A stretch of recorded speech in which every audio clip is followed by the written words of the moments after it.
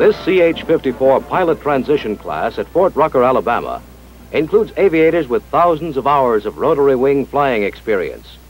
Yet despite their background, it will take these men six weeks of intensive training to become qualified flying crane pilots. One good reason for this is that the CH-54 is a unique aircraft with many features not found in other helicopters. In addition, the scope of the missions and the world areas in which CH-54s are now operating increases every day.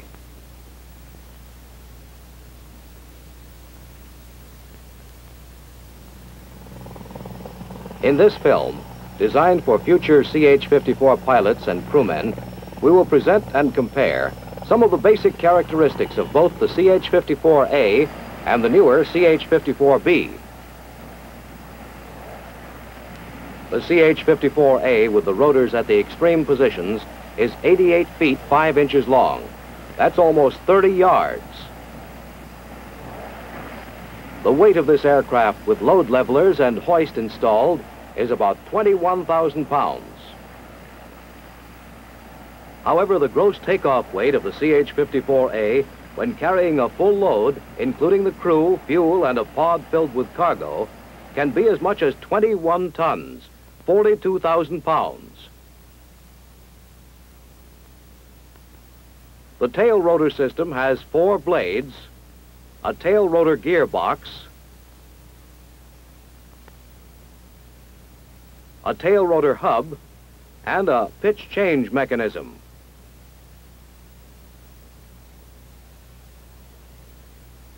The main rotor has six blades, and the main rotor disc diameter is 72 feet. When the blades are stopped or turning at low speed, droop and anti-flapping restrainers limit the downward and upward movement. A unique feature is that each main rotor blade spar is filled with nitrogen pressurized to about 10 pounds per square inch.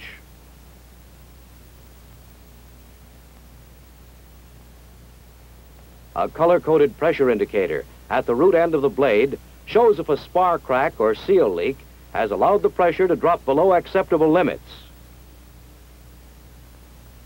This blade inspection method is called BIM, and the indicator can be checked out using a test lever. Two other features common to all Tarhes are a full swiveling nose wheel with self-centering device and an electrically retractable tail skid. This makes it easier to move a load under the airframe for four-point hookup.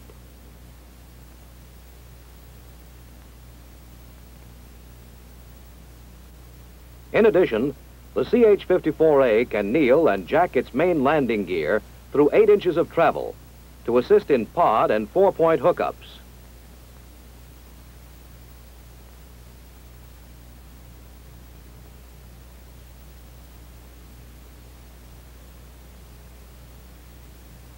This helicopter is powered by two gas turbine engines mounted side by side on top of the fuselage. Two engine air particle separators can be installed in front of the intakes to protect the engines from sand or other foreign matter in the air.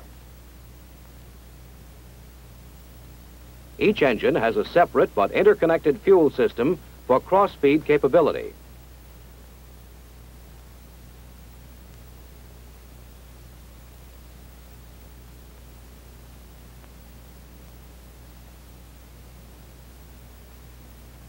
The fuel controls automatically feed the turbines with the precise amount of fuel to develop the power needed to maintain a constant rotor RPM under varying load conditions.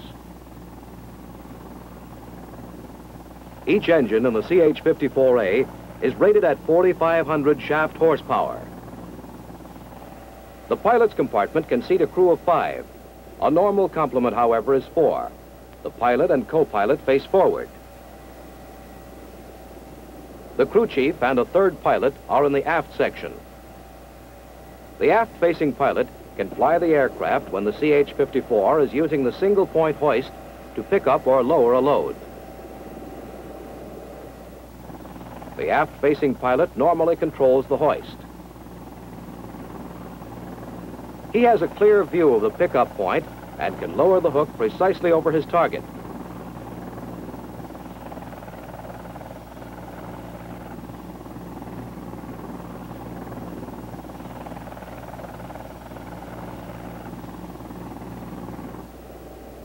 Now here's the pilot's view of the instrument panel and controls.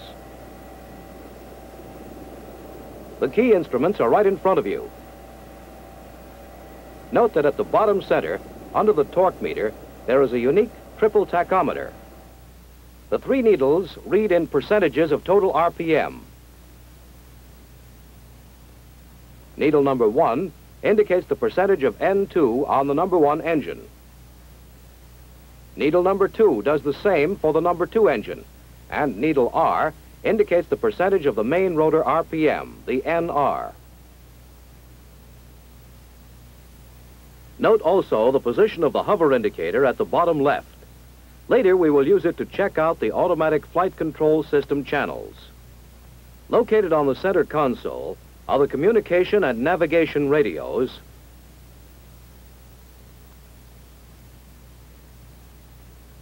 the master switches, cargo hook and hoist controls. Also at the top center, we find the fuel management panel. The cross-feed fuel system allows you to feed fuel from either or both main tanks to number one or number two engine. Note that there is no cross-feed between the main tanks.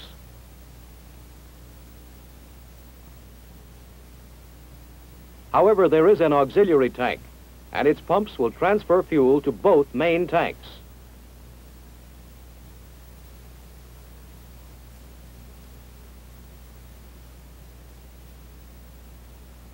Two fuel shutoff levers, one for each engine, are on the overhead control panel. Pulling a lever to the full aft position shuts off the fuel supply to the respective engine. The CH-54 can be pressure defueled and may be pressure refueled to the level set by the limit bugs on the fuel quantity gauges. The fuel connector is located on the bottom of the left landing gear support.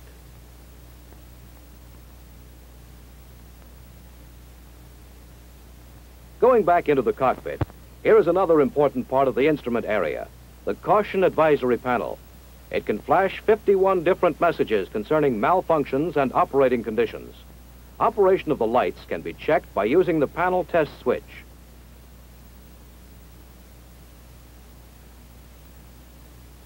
Let's look at some more key systems. Here, directly behind the main gearbox on top of the aircraft, you can see the auxiliary power plant, which is actually a small turbine. The function of the APP is to drive the accessory section of the main gearbox when the main rotor is not turning. This permits starting of the engines and provides hydraulic and electrical power for ground operational checks of the single-point hoist controls and other systems.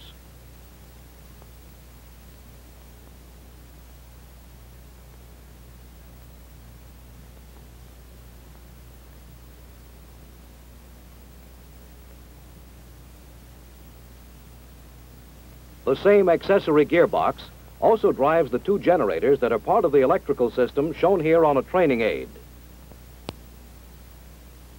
Other components of the electrical system are two transformer rectifiers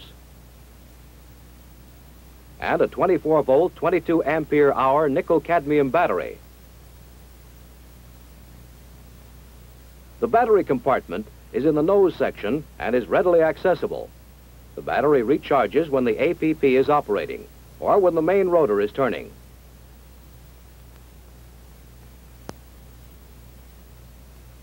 In addition, there are external receptacles available for both DC and AC power inputs from external power sources.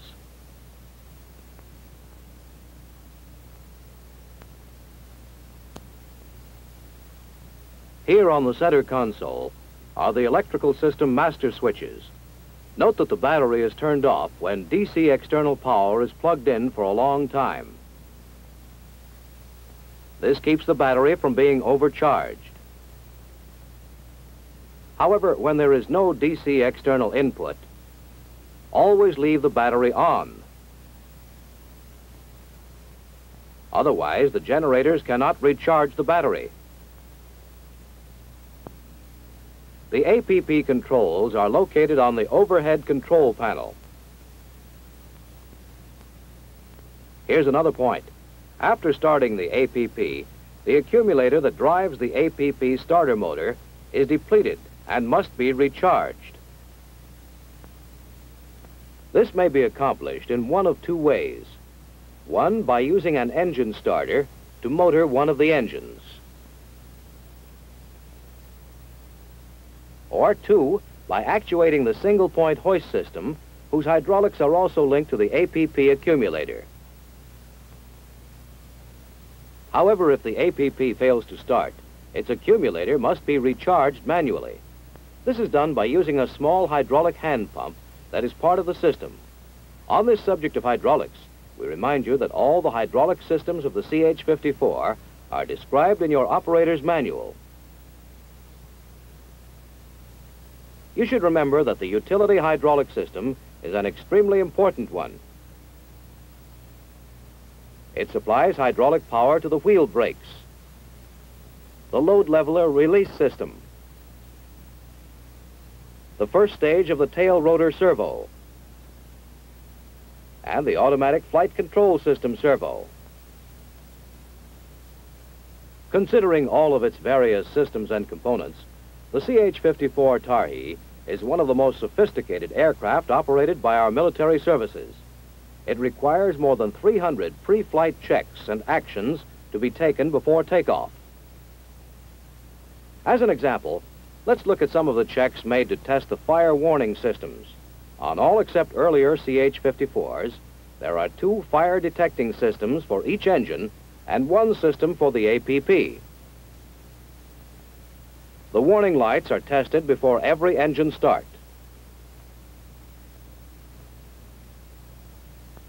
Master fire warning lights are located on the instrument panel, one in front of each pilot.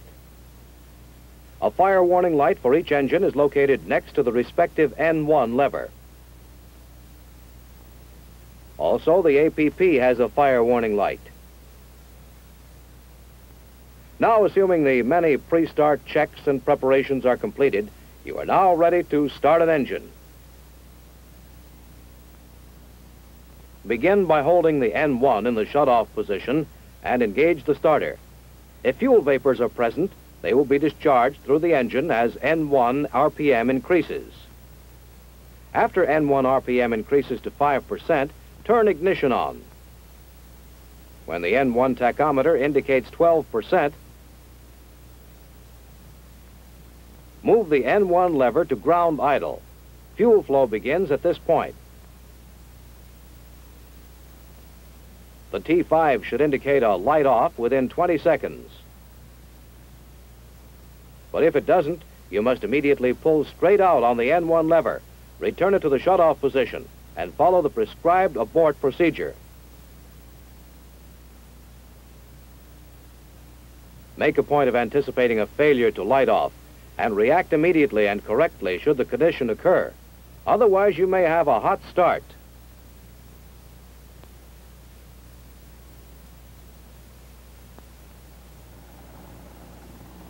Here's a typical takeoff to a hover. Note that it's made vertically to a sufficient height to keep the wheels clear of the ground. When the wheels have about 10 feet clearance, use the cyclic to prevent drifting away from the hover spot. To start your flight from a hover of about 10 feet, here's the procedure. Apply forward cyclic and use the collective to maintain altitude until your airspeed is enough to get translational lift. Normally, this will occur at an airspeed of around 20 knots. Now continue to apply forward cyclic to accelerate the CH-54 smoothly to 70 knots or whatever airspeed the load and conditions will permit. Then adjust power for the desired rate of climb. Use the tail rotor to hold the direction of flight and the cyclic to control drifting. Above 50 feet, allow it to crab into the wind. This has been a typical takeoff. Variations may be necessary depending upon load configuration, terrain factors, density altitude, and other variables. Now let's take a look at some special features of the CH-54 flight control system. An automatic feature that reduces the amount of pedal needed to compensate for changes in collective pitch is called the collective to yaw coupling. This coupling automatically causes tail rotor blade angles to increase when the collective is raised and to decrease when the collective is lowered.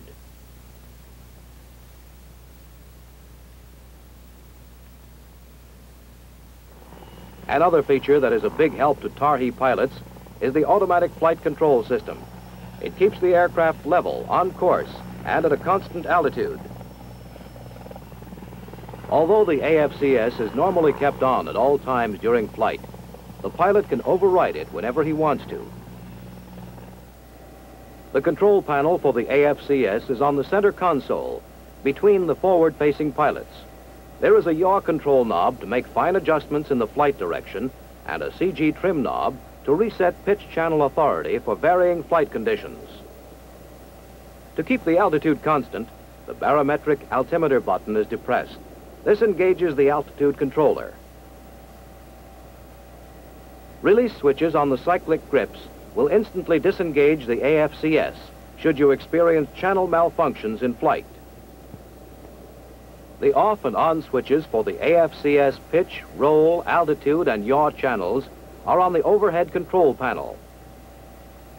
These switches are normally kept on, but may be selectively turned off should individual channels malfunction.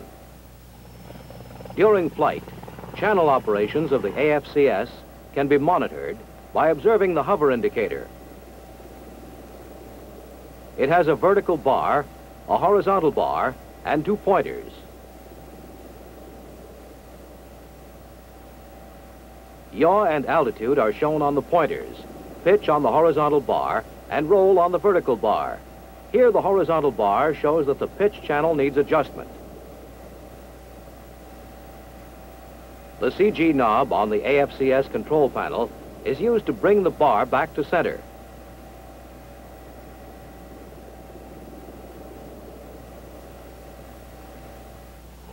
This adjusts the AFCS pitch channel authority to compensate for changes in the flight condition of the aircraft.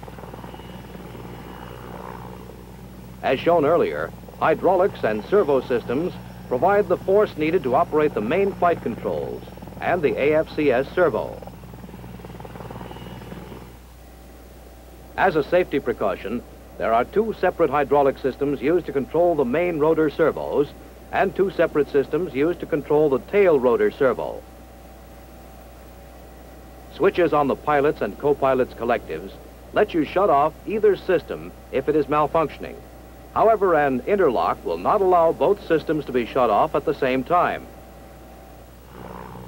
The AFCS servo is served only by a single hydraulic system. If it should fail, you will lose the AFCS servo assist. This will be felt as a stiffening of the controls, which will require some extra effort by the pilot to overcome.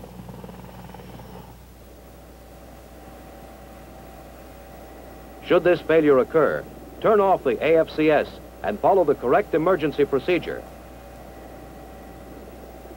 You must learn exactly what to do, not only in the event of hydraulic failures, but in all emergency situations. A separate film covering CH-54 emergencies is available for study. You should be familiar with procedures before making your first flight. Now let's discuss the newer CH-54B and see in what major areas it differs from the CH-54A. First, the engines are rated at 4,800 shaft horsepower, an increase of 300 over the A model engine. In addition, a new main rotor blade provides increased lift. These and other improvements permit the CH-54B to carry a load of 25,000 pounds. The allowable gross weight is increased to 47,000 pounds, 5,000 more than the CH-54A. Some other changes on the CH-54B are dual wheels on the main landing gear. The nose wheel size is the same as the others, so that all wheels are interchangeable. The landing gear no longer has jacking and kneeling capability. In its place, the load levelers have been equipped with separate winches. Using these winches, the load can now be lifted directly off the ground, and the connecting hooks can be brought up flush with each load leveler without having to kneel or jack the landing gear. Internally, improvements have been made to the hydraulic systems, and on the instrument panel, the hover indicator has been modified. The AFCS off and on switches for the pitch, roll, altitude, and yaw channels have been relocated. And additional information will be provided by the Caution Advisory Panel. In the CH-54B, not only will you be visually informed of a major malfunction, but... Electrical fault, electrical fault. Fire, engine fire. Fire, engine fire. Servo pressure low. Servo pressure low. These are just a few examples of changes that will be part of the CH-54B. However, the flying characteristics of both models of the Tarhe are essentially the same, and both can be flown from the aft-facing pilot's seat. So now let's see how the controls operate from this position. The transfer of control from the forward pilot to the aft-facing pilot follows a precise communications procedure. You should become familiar with this procedure before attempting to pick up a load in this manner.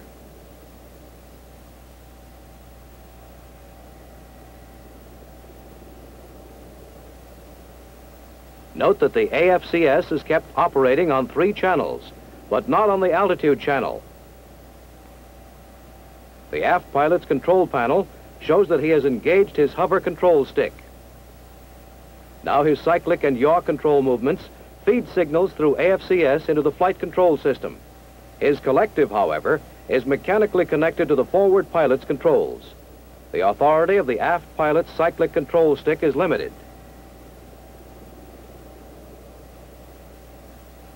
In the CH-54A, pitch and roll authority in all directions from the aft cyclic centered position is 10%. In the CH-54B, this has been increased to 20%. Note that when you move the aft pilot cyclic away from you, you apply a down motion to the aft end of the aircraft. When you pull the aft cyclic towards you, the aft end lifts and the nose tilts down.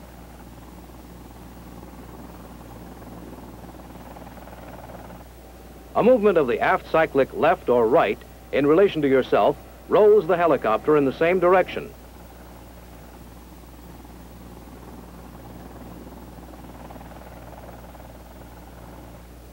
Another important point. The collective control for the aft-facing pilot in both models of the Tarhe has a direct mechanical connection to the forward pilot's collective controls. Take care not to move it unintentionally during flight operations. Remember, when the aft-facing pilot is flying, either the pilot or co-pilot can override his controls. As a safety precaution, the pilot always keeps his hands lightly on both controls and his feet near the pedals.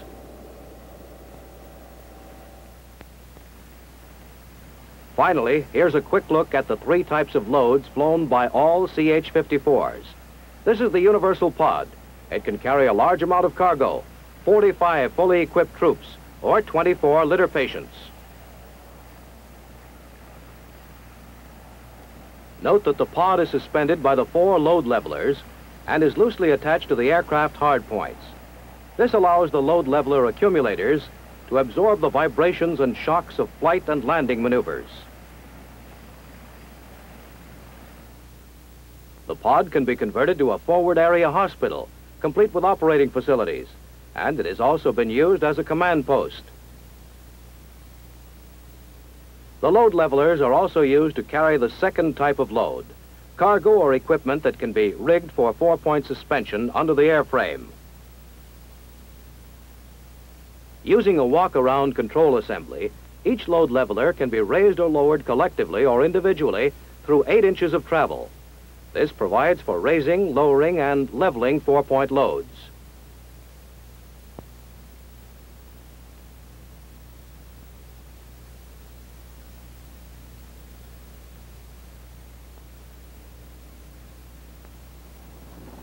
The third load-carrying method, the single-point hoist, is the reason we call the CH-54 the flying crane. The hoist on the CH-54A can raise or lower a load of 15,000 pounds. But with the hoist in a static position, the CH-54A can lift its maximum authorized load 20,000 pounds, 10 tons.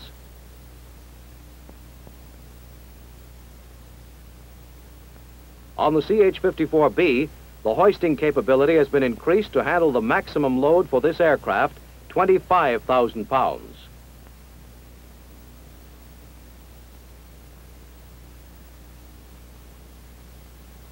In this film, we have seen some basic characteristics of the CH-54A and the CH-54B. As you continue your training, the many points covered in this film will become even more meaningful than now, and you will soon realize that the flying crane is indeed a unique and distinctly capable heavy lift helicopter.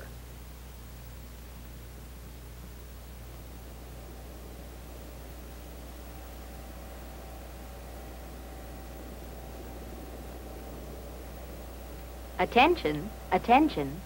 Welcome to your new assignment, flying the largest and most powerful helicopters in the free world.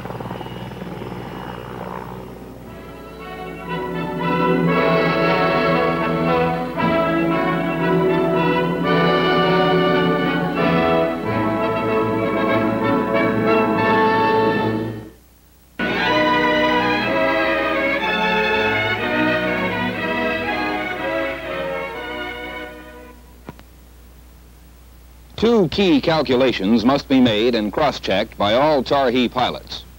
One of these is for fuel load allowance. The other is for weight and balance using Form F. Fuel loads carried vary considerably, depending upon several changing factors. As an example, you may have to fly from point A to pick up a 15,000-pound howitzer at B, then fly the howitzer to a mountaintop at C, and still have enough fuel left to continue on to D, the nearest refueling point.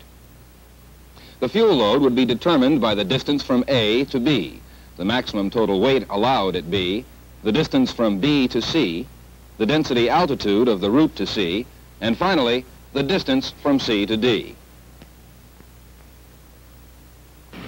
In addition to varying combined weight of loads and pods, each aircraft will vary in weight depending upon the modifications made and the number of crew members aboard. All these facts must be used by the pilot to calculate his maximum fuel load allowance. The weight and balance form F determines whether a pod-type load falls within the aircraft's center of gravity limits. Loads must be positioned so that the center of gravity remains within flyable limits for the crane. There are three ways of carrying loads with the CH-54.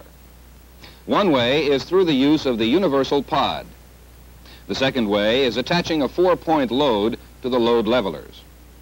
And the third way is flying a load suspended from the single-point hoist system. First, we'll consider pod loads. Pod installation will already have been accomplished. The pilot should, however, carefully inspect installation of the pod before flight.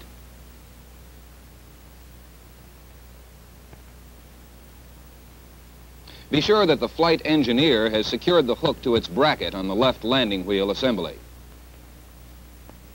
You should also check to be sure that the crew chief has secured the top part of the hoist cable to clips provided for this purpose on the landing gear and airframe.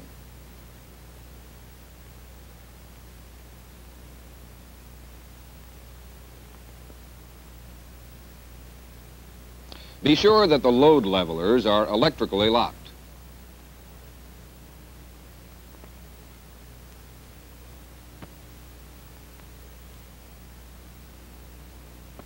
There are four load levelers mounted on the CH-54 frame.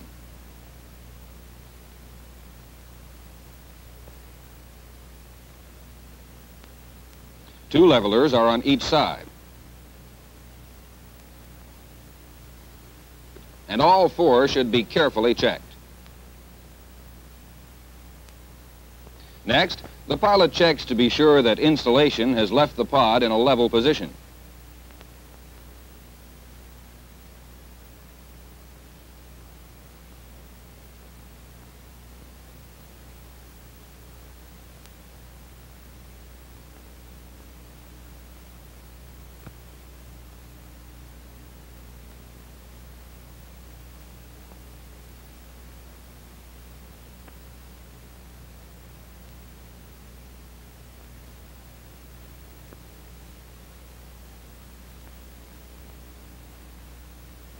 There are four handling wheels attached to the pod, two on each side.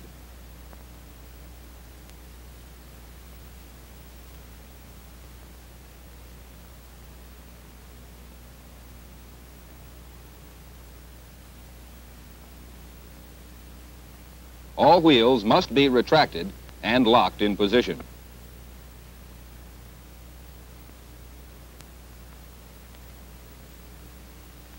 If its use is anticipated, the communications cable to the pod must be connected.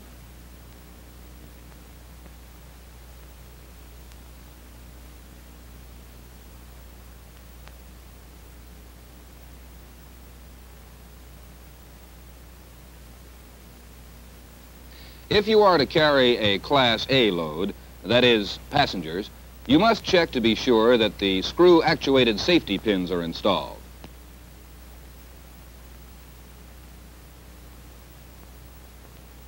There are four such pins.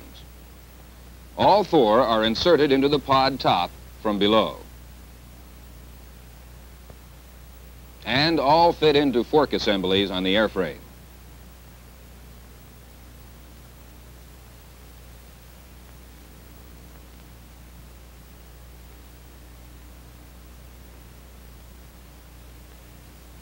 When all four screw-actuated safety pins have been checked, the pilot should be sure that each leveler is manually locked.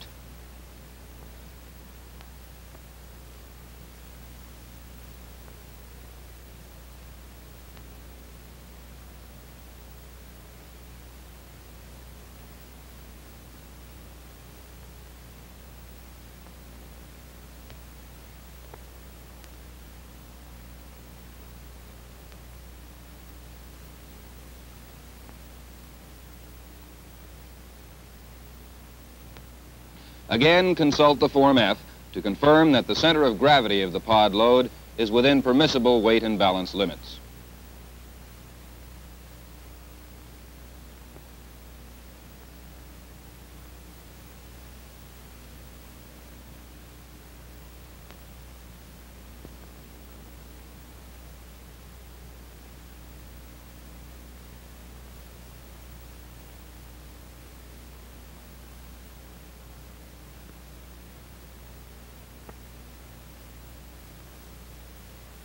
Now that we have some familiarity with the four-point load leveler system, consideration of loads other than pods is next in this presentation.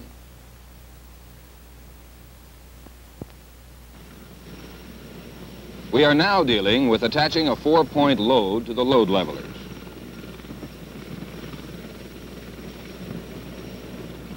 There are three ways of positioning the CH-54 so that the load levelers can be connected directly to the cargo.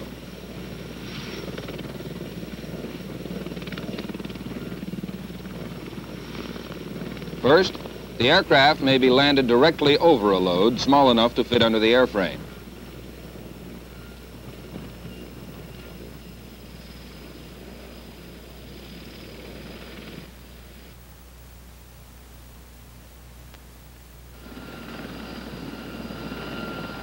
The second means of positioning the CH-54 is that of taxiing into position over heavy loads that are difficult to move.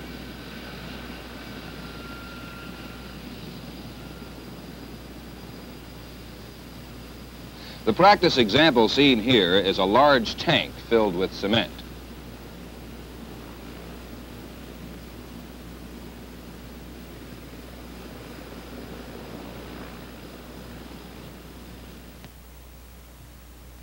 The third way of positioning the CH-54 over a load is considered to be the best and is recommended when circumstances permit a choice. This is to move the load itself under the aircraft.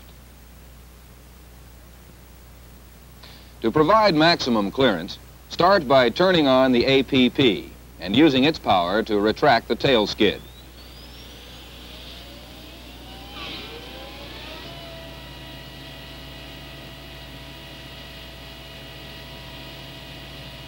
The flight engineer takes out the walk-around control and unlocks the load leveler lock-unlock switch. The leveler unlocked warning light will come on.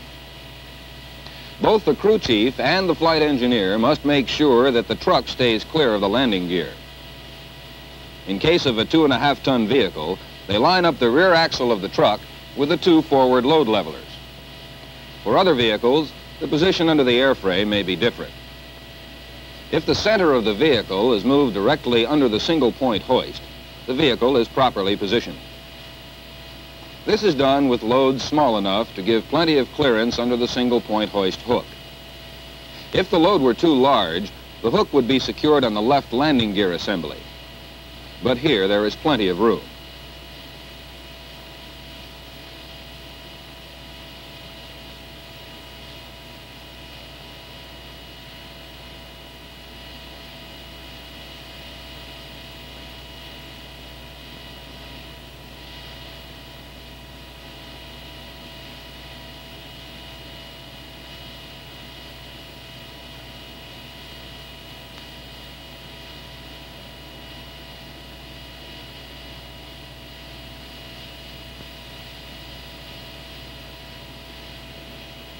Crew chief and flight engineer will now pull down and connect the cargo lashing reel cable hooks to the lifting points on the truck.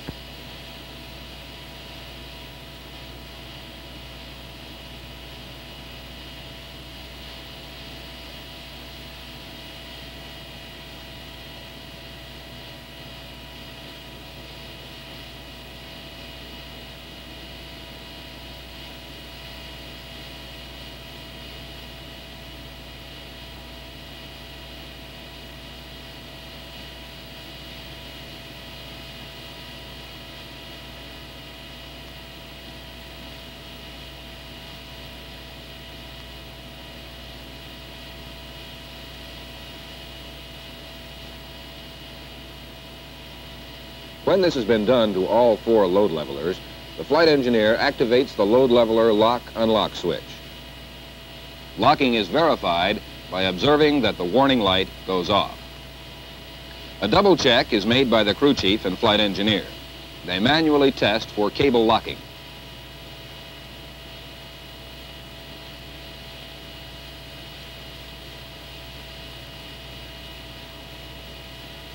They also check the indicator on each of the four load levelers.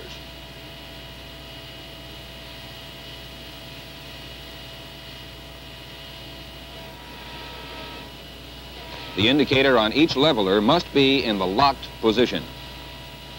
The load can now be lifted.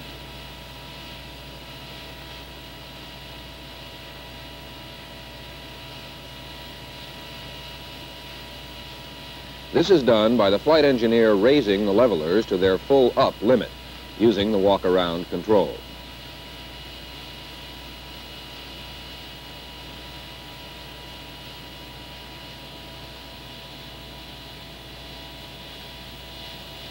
The load should now be off the ground.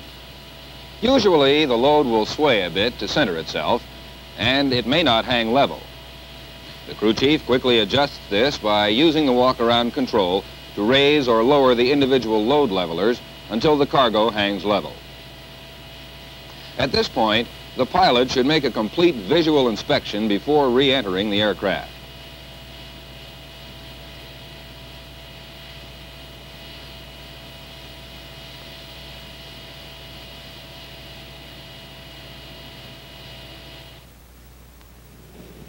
Before flying the load to its destination, hover the aircraft to check the center of gravity.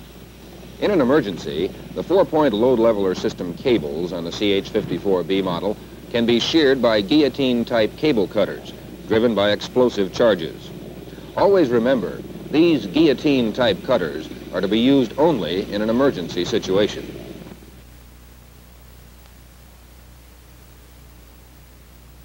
The single-point hoist system has earned the CH-54 the name of flying crane.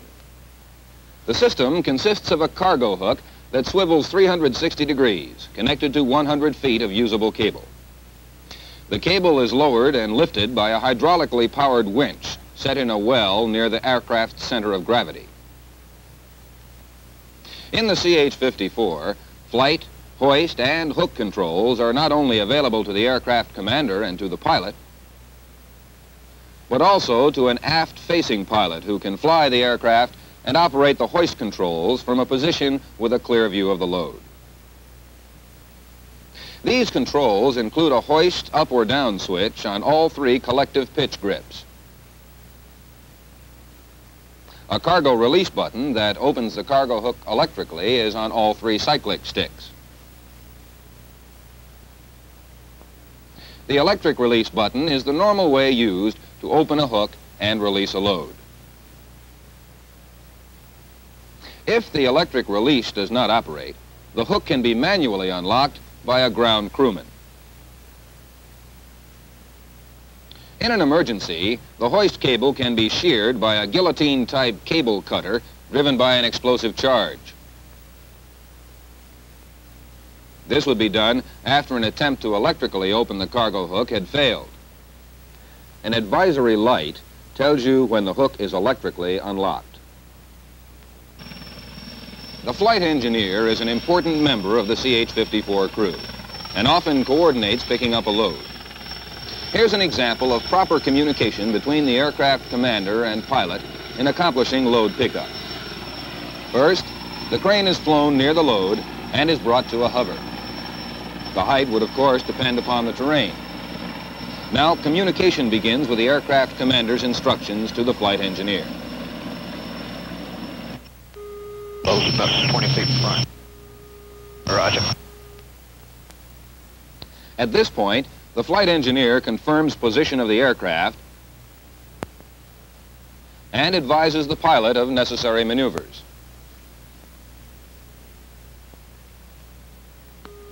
And I have the load in sight. Hold. Clear to come down three. The hook will stay closed until it is electrically released. At this point, the flight engineer confirms hookup. He's got the hook and the load is hooked up, coming up on the hook.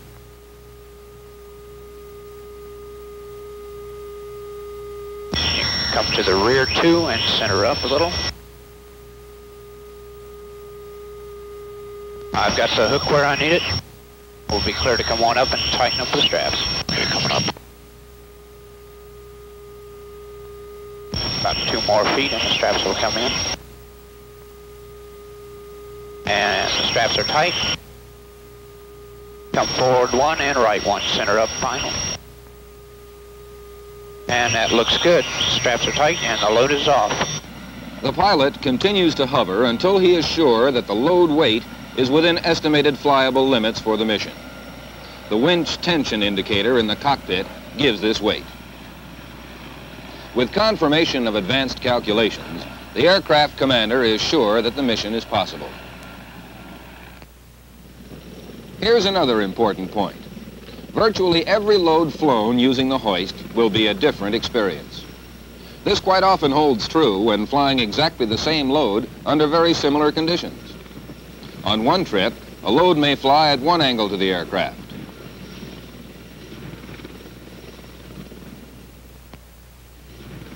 On another trip, just one hour later, it may present an entirely different angle to the wind. And on the next trip, just a few minutes later, the crew may experience a totally different set of flying characteristics. This presentation on CH-54 flight operations would be incomplete without mention of a capability unique to the CH-54. the provision for limited flight control from the aft seat. Whether to use the aft-facing pilot is a decision to be made by the aircraft commander upon arriving over the pickup point. If the decision is made to utilize the aft flying capability, the procedure works like this. First, check the automatic flight control system.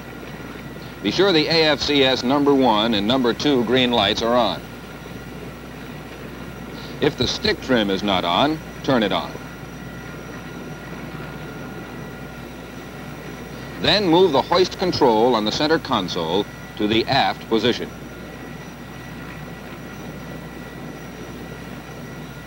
Make sure the cargo hook release is in the shear hook position.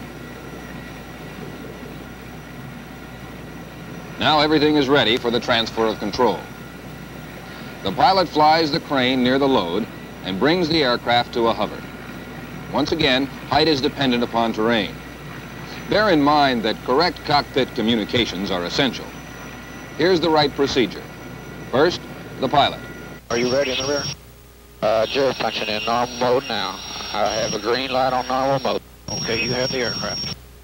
Okay, I have the aircraft. The hook is coming down. Now the aft-facing pilot is flying the aircraft. But the pilot continues to monitor the controls, and he stays ready to take over. In an emergency, this can be done immediately as the pilot's controls override those of the aft-facing pilot. With a clear view of the load, a crashed T-33, the aft-facing pilot lowers the cable so the hook can be attached to the pickup rig. A ground crewman connects the hook to the lifting harness. The hook will stay closed until it is released.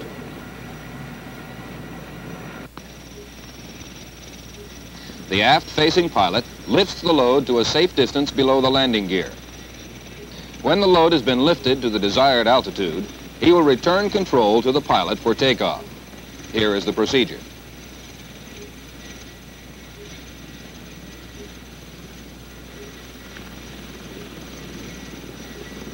Okay, you have the aircraft. I have the aircraft. Disengage remote stick.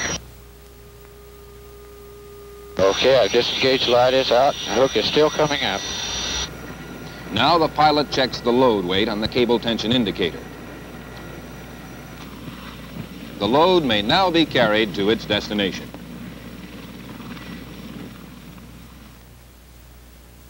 Here are key points covered in this presentation. Many variables will enter into the figures used to compute your maximum fuel load allowance.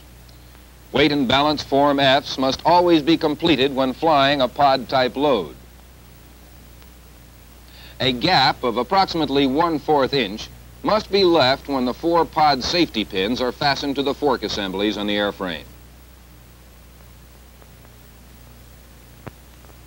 This ensures that a pod will remain suspended from the load levelers, whose accumulators prevent vibration and shock being fed to the airframe. Before a pod or a four-point load is lifted off the ground, always double-check the cables and the lock position indicator on the load levelers to make sure the cables are locked. Always use correct communications when aircraft control is being transferred between the pilot and the aft-facing pilot. Virtually every single point load flown will have different flight characteristics. Before flying a single point load, always check the load weight on your cable tension indicator. This presentation has covered some basic facts about flying the three types of loads carried by the CH-54. Flight operations have been shown with the B model CH-54. Procedures and standards depicted are in general applicable to the A model flying crane. The scope and type of missions flown by the CH-54 will increase as time goes by, serving to emphasize the importance of crane crews being familiar with and applying proper flight procedures.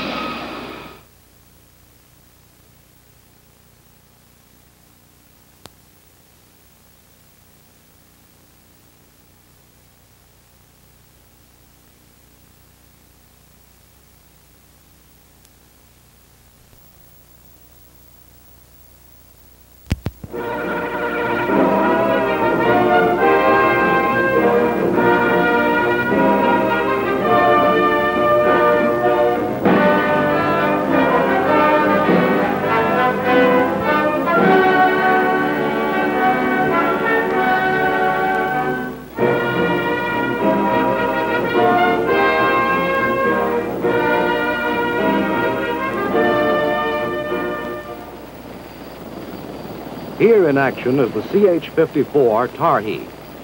It is easy to see why the United States Army more commonly calls the Tarhe the flying crane.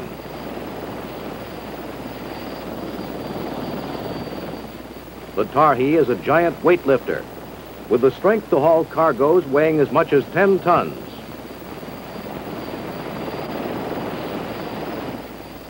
To accomplish their mission, CH-54s are powered by two gas turbine engines, takeoff rated at 4,500 shaft horsepower each. Lift is provided by a six-bladed main rotor system with a rotor disc diameter of 72 feet. In addition, the necessary auxiliary systems and their multiple components combine to make the Tarhe a complex aircraft. Inevitably, as in all complex systems, malfunctions will occur. Here we have a loss of power in one engine. In an emergency, the first priority is to maintain control of the aircraft, then determine the emergency and corrective actions. In this case, corrective action can be simple and effective. But crews of flying cranes should keep in mind that over 30 emergency situations may arise. You must know the correct procedures for handling every one of them.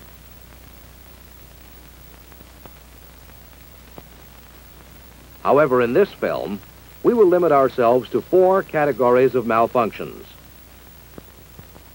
That is, emergencies caused by fires, electrical failures, hydraulic failures, and engine failures. Let's begin with an internal engine fire on the ground. While starting number one engine, T5 rises fast and the fire warning light flashes on. The immediate corrective action, return N1 lever for affected engine to shut off. Ignition for engine on fire, off. Monitor the N1 RPM indicator. As soon as it decelerates to 25% or less, motor the affected engine by using the starter button located on the N1 lever. This should clear out the combustible materials.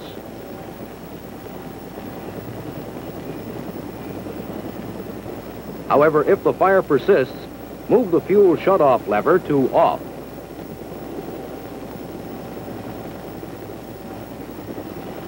Turn off the boost pump switch of the affected engine. Then once again, motor the engine by using the starter. This should extinguish the fire. Throughout the emergency, you must continue to monitor the T5. The engine must be shut down, even though the fire is out. Enter the highest temperature indicated by the T5 in the logbook and call maintenance personnel. Let us now consider an external fire occurring on the ground.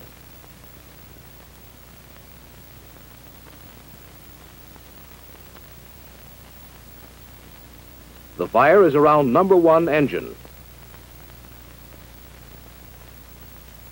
In this case, the co-pilot calls the tower for assistance, and the pilot begins the shutdown.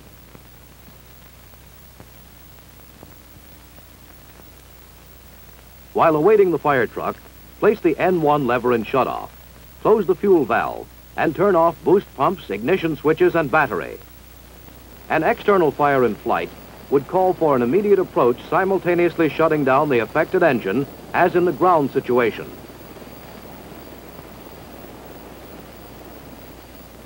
Now here's what to do for an internal fire in flight. This would likely be preceded by an engine failure. The master fire warning lights will flash on before both the pilot and co-pilot. Also, the red fire warning light for that engine lights up on the overhead engine control quadrant. Start an immediate approach to the ground. At the same time, instruct the co-pilot to shut down the engine on fire in this manner.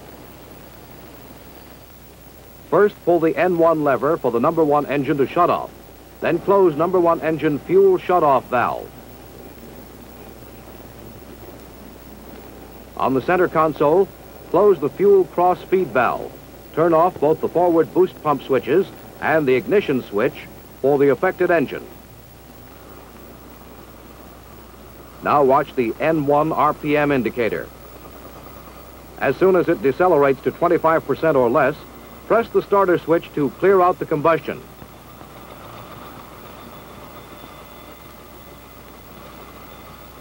Keep the starter operating until all evidence of the fire has disappeared. Alert the crew to check for fire or smoke. When the fire is out, disengage the starter by pulling out the N1 lever. Since you are now operating on only one engine, you must attain a safe single-engine airspeed, then land immediately. Now let's examine the procedure used in the case of an electrical fire. In this case, smoke is occurring as a result of faulty wiring beneath the instrument console. Alert the flight engineer. If the cause of the fire can be isolated, pull the circuit breaker to the affected circuit. If not, turn both generator switches on the center console off. Then turn the battery switch off. This will cause a loss of all electrical power and should eliminate the hazard. If the fire continues, be ready to use the portable fire extinguisher. This procedure is correct for all types of electrical fires. Now let's take a look at some electrical malfunctions. A master caution light flashes on. A look at the caution advisory panel tells us that the number one generator is out.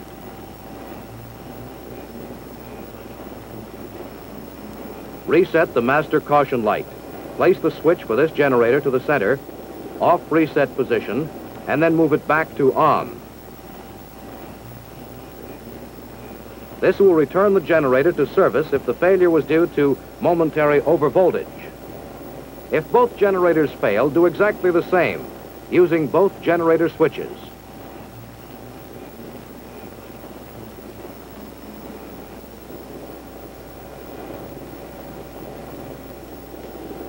Usually this will correct the failure, but if both generators continue to remain off, you would turn off the generator switches, all non-essential equipment, and abort the mission, since the only electrical power source remaining is the battery.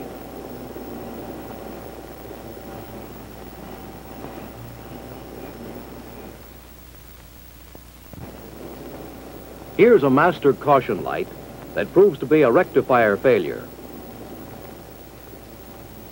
In the case of one rectifier failing, simply turn it off. The primary DC bus is then powered by the remaining rectifier, and the monitored bus loads are dropped. But if both rectifiers should fail, the battery would power the DC primary bus, then turn both rectifiers off. and abort the mission.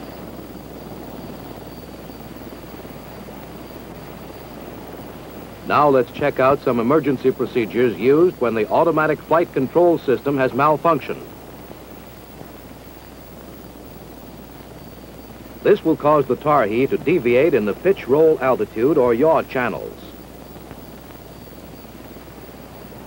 Besides this indication in the flight controls, the loss will be shown on the hover indicator. Here, the pitch channel is malfunctioning. Corrective action, disengage the malfunctioning channel by use of the switch on the channel monitor panel.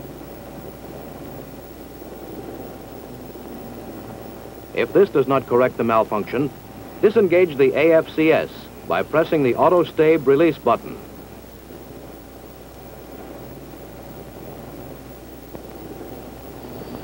If you are still having trouble, you can eliminate the AFCS by turning off the AFCS servo. Another type malfunction is a hard over signal in any of the AFCS channels. Again, the hover indicator will show the one that is hard over. It is the roll channel. This can be overridden with the flight control.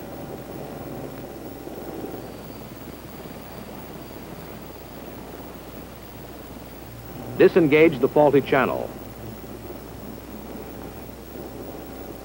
If this does not correct the malfunction, disengage all four channels by pressing the auto-stab release button. If the hard over symptoms still remain, switch off the AFCS servo.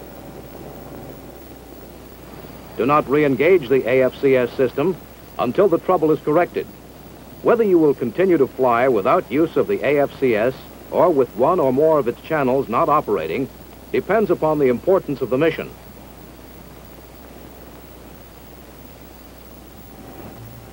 Here's another situation. A failure of the utility hydraulic system. You'll be immediately aware of this condition due to the loss of the AFCS servo, causing the aircraft to become unstable. The master caution light will flash on. Two quick checks will indicate that this is a utility hydraulic system failure. On the caution advisory panel, the AFCS servo pressure caution light and the first stage tail rotor servo caution light will illuminate. And on the instrument panel, the utility hydraulic pressure gauge will drop below the normal operating pressure. The emergency procedure in the case of this type of hydraulic failure is extremely simple. Press the auto-stab release button, disengaging the AFCS system. Then you land without use of the AFCS as soon as it is practical to do so. With the first stage tail rotor servo pressure lost, be careful not to inadvertently turn off the second stage servo switch on the collective stick.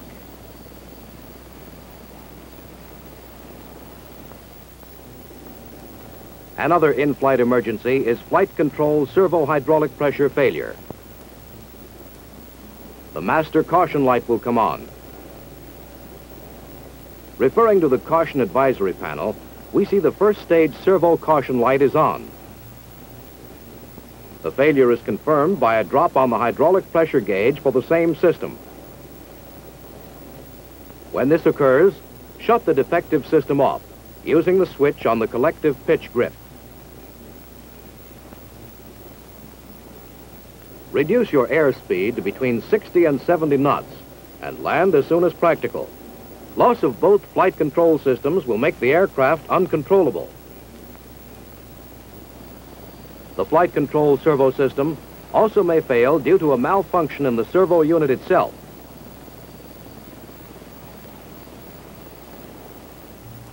In this case, it may be difficult to determine which servo system is failing, as both systems may be operating at normal pressure. So first reduce your airspeed to between 60 and 70 knots and begin an immediate descent. Then turn off one servo system to see if it is the one that is malfunctioning. But be prepared to return the switch to center instantly. Abrupt maneuvers may develop if the correctly operating system is turned off. If the second stage is okay, the first stage is obviously the faulty one and it remains off. You will, of course, land immediately.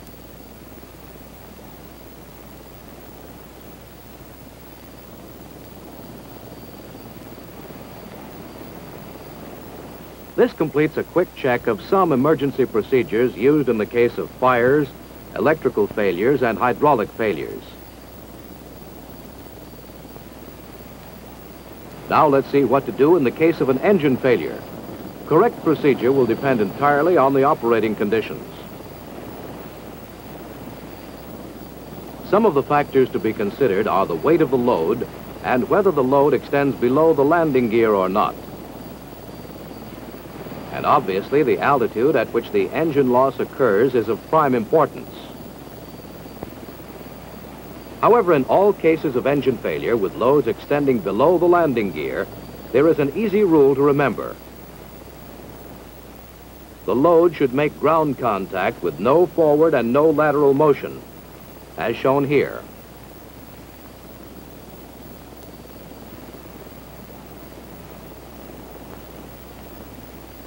Or if the aircraft is in motion and gross weight prevents single engine hovering, the load must be jettisoned before it makes contact with the ground.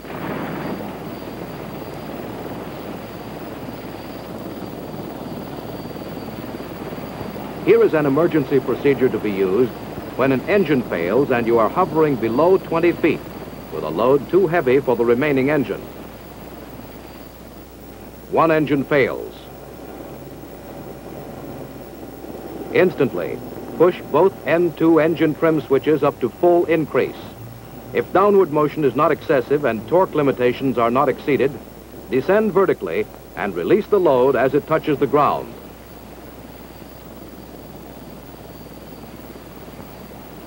After the release, move forward of the load and make a single engine landing.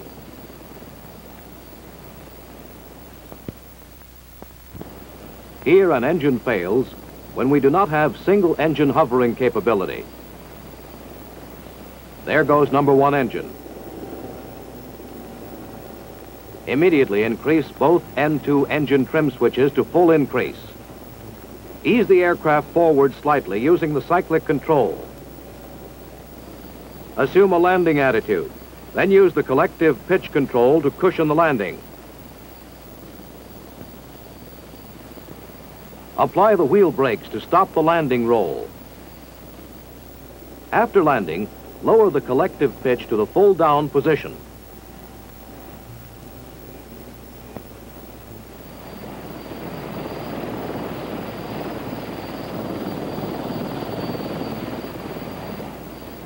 If an engine fails before the Tarhe has attained an airspeed of 25 knots, remember that the emergency procedure is almost identical to the one for engine failure while hovering below 20 feet. Again, number one engine fails. Adjust collective to maintain rotor RPM with full increase on both N2 engine trim switches. Use the collective pitch to lower the aircraft and set down the load with no forward or lateral motion.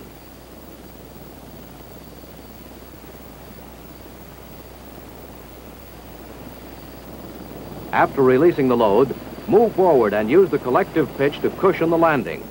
Apply the wheel brakes to stop the landing roll and smoothly lower the collective pitch.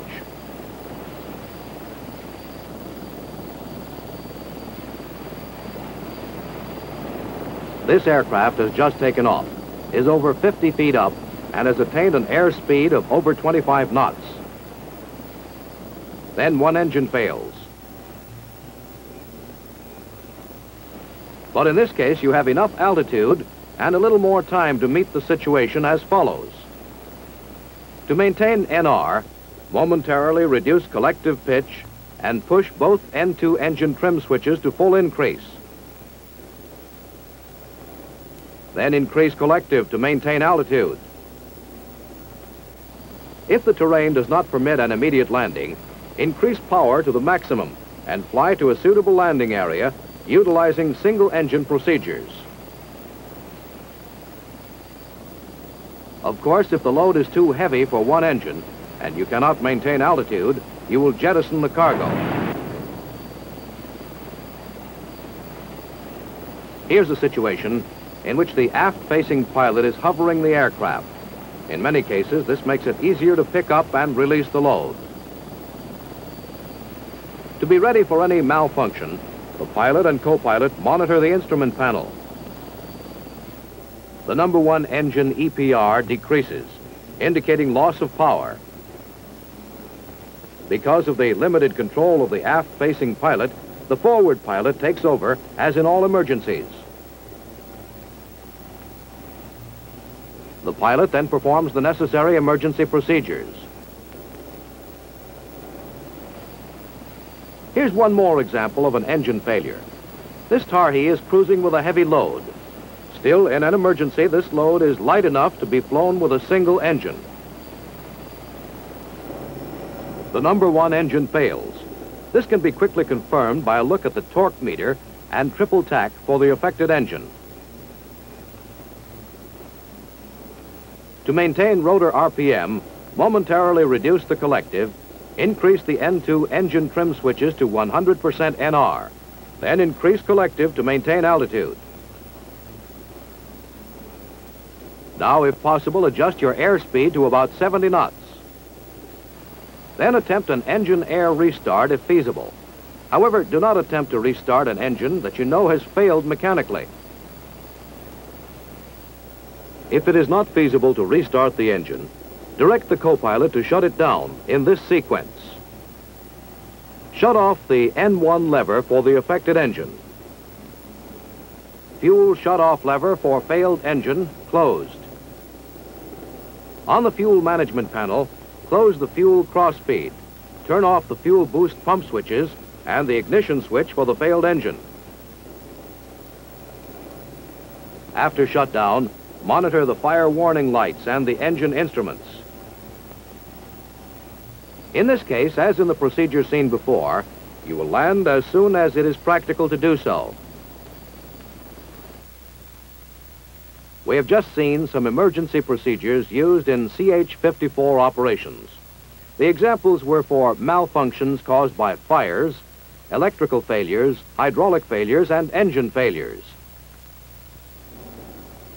You are not expected to remember everything covered in this film after seeing it only once. You will need to see it several times and to observe specific points as needed.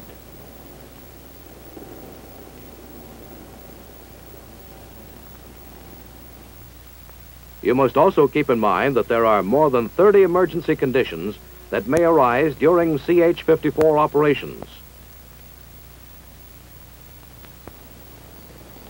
Eventually, all CH-54 pilots will learn to react instantly, automatically, and correctly in all situations. We hope that this film will be of some help towards making every flight in the CH-54 Tarhe a safer one.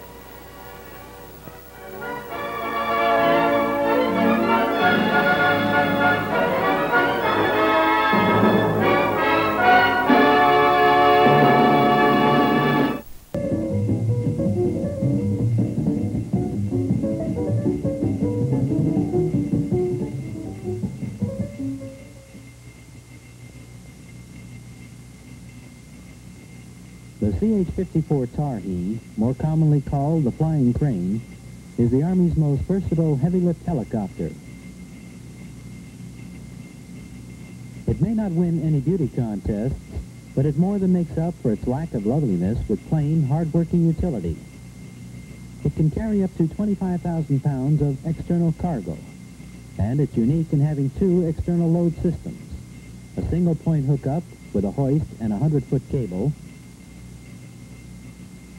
and a four-point load system for greater stability.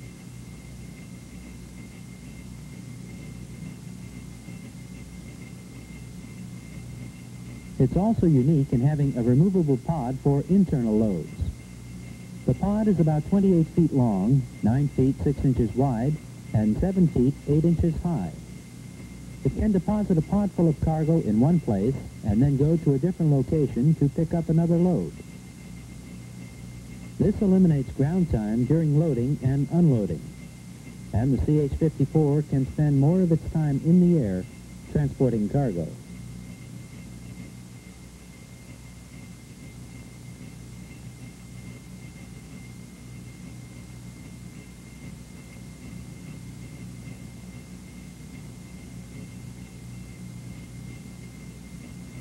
When transporting the pod, the cargo hook is stowed on the left main landing gear. Preparation for single-point hookups consists of removing the hook from its rack.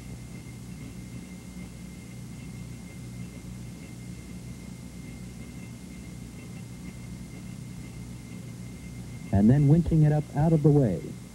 The hook is on a 100-foot cable raised and lowered by a winch. In addition to the two pilots up front, the flying crane has a third pilot station which faces aft. This feature allows the CH-54 to be piloted from the rear seat if the situation arises. Normally, a flight engineer operates the winch from this station. Rigging an external load for a pickup by a CH-54 is basically the same as for an external pickup by any other cargo helicopter. For example, when recovering a disabled CH-47 helicopter, you possibly will use specially designed slings for recovery of this aircraft. These slings are attached to the hard points of the aircraft. To prevent the slings from flapping in flight, you will twist the slings one turn for every three feet of sling length. Then attach the slings to the hard point, making sure the pin is locked in place.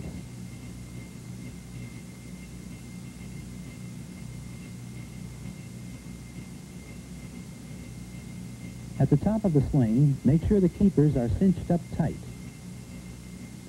You will always use a large metal clevis to connect the sling to the cargo hook.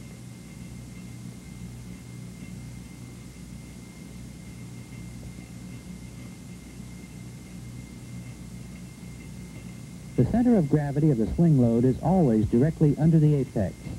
This box has the same characteristics of a sling load. Using a fan to produce wind, we can simulate forces acting on a sling load in forward flight. Because of the relatively light weight and large surface areas of the box, it becomes violently unstable and uncontrollable in flight. One means of stabilizing the box is to add weight, which changes the weight-drag surface ratio. The box may become stable, but the box will still fly broadside, which will slow the aircraft down. Another means of achieving stability is by shortening the front two sling legs and adding weight to the forward area of the load. Notice the center of gravity is still under the apex, but has shifted to the front portion of the load. And the load will now fly with its smallest surface into the wind and with a high degree of stability.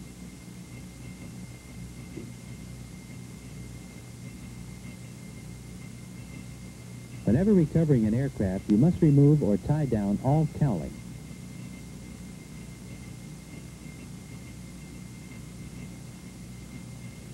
With some heavier loads, such as this Chinook, it is important that the load remain as stable as possible. A good method of achieving the stability desired is by adding a drogue chute with a swivel attachment to the rear, thereby streamlining the load and stabilizing it during flight. Someone must hold the chute when the flying crane arrives to keep it from blowing up into the rotors. The signalman brings the helicopter approximately over the load.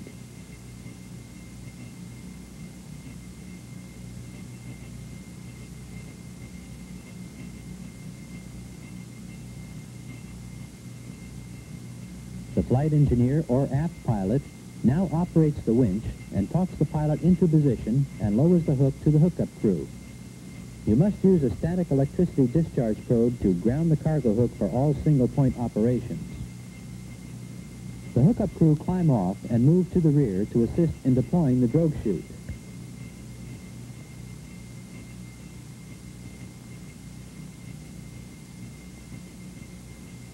The pilots have an electrical release mechanism to open the hook to release the load. If this mechanism should fail, the CH-54 has an, an emergency release an explosive cartridge below the hoist drum that will shear the cable. The hookup crew holds on to the drogue chute and deploys it when the CH-54 achieves forward flight.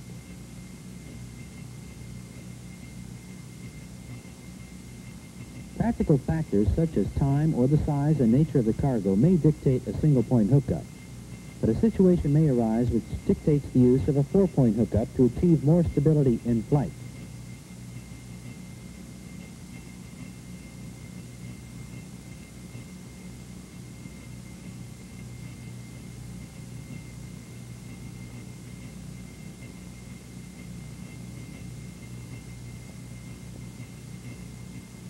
In any helicopter operation, get the cargo ready before the aircraft arrives. Vehicle gas tanks are three-quarters full. Lower the windshields. The center of gravity is clearly indicated so the aircraft crew can complete the weight and balance data. Rigging for a four-point hookup is much simpler than for a single point. You need a lot less rigging equipment. In the front, you can use chains wrapped around the frame.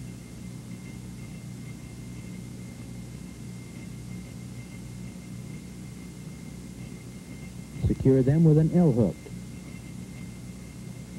And for even more safety, use two chains.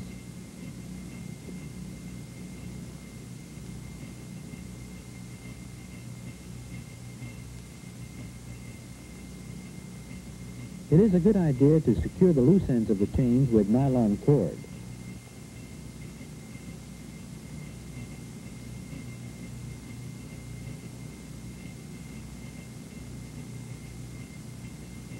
Attach a large clevis at the top.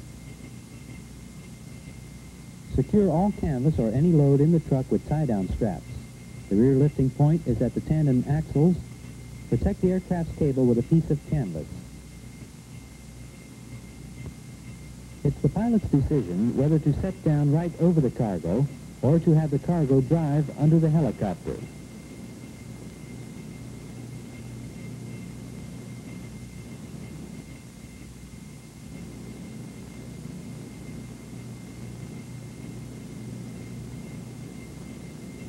The driver waits for the tail skid to be raised and for the crew member to guide him under the aircraft.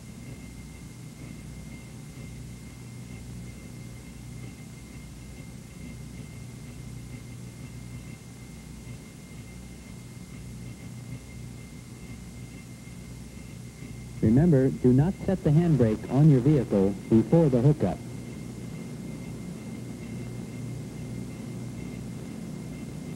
Four lifting cables are 16 feet long, each on its own drum. One of the aircraft crew unlocks the drums with an electric switch inside the cockpit. You simply pull down the cables and place the hooks into the clevises.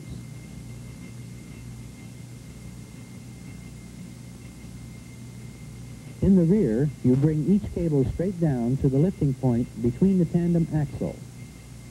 The drums are spring-loaded and take up the slack automatically. The flying crane has a load leveler system on the four-point hookup. Operated by the air crewman's electrical control, each drum raises the load to clear it from the ground.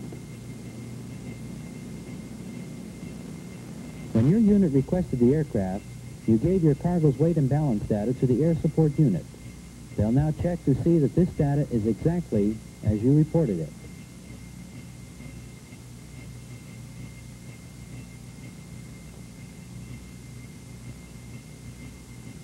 The air crewman makes a final check of the load before liftoff.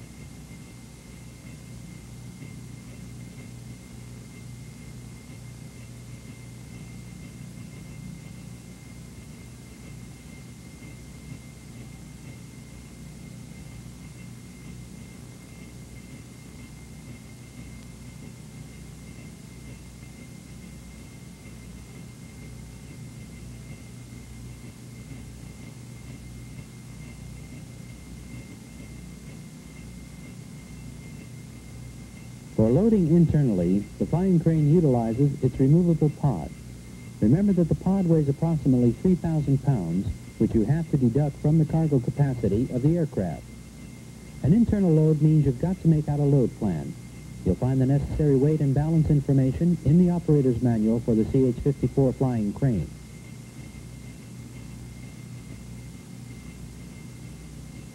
Prepare a vehicle by reducing it to its lowest silhouette and tying down any projecting items.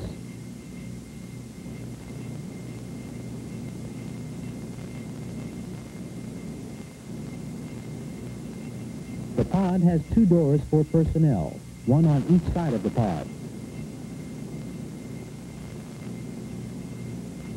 The cargo door in the rear is secured by two locking levers. The door lowers to form the loading ramp.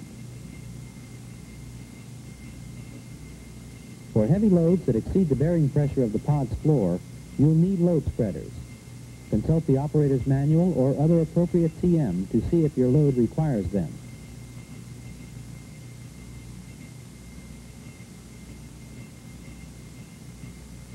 Check to see that your load spreaders are clean and free of rocks or other debris that could damage the floor.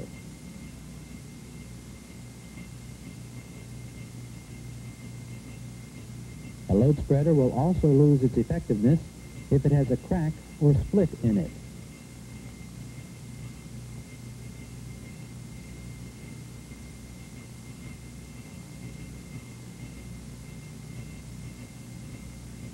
Because of the reduced floor bearing area, whenever you use pallets, the floor can be easily damaged, and extensive repair to the aircraft floor will be necessary if you exceed the maximum pressure prescribed in the operator's manual. The rule of thumb when using load spreaders is that whatever the thickness of the load spreader, there must be an equal amount extending on each side of the load.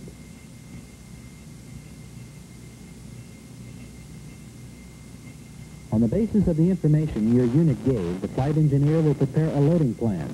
He will direct the placement of cargo so the helicopter will be properly balanced in flight. Loose cargo must be unitized with straps.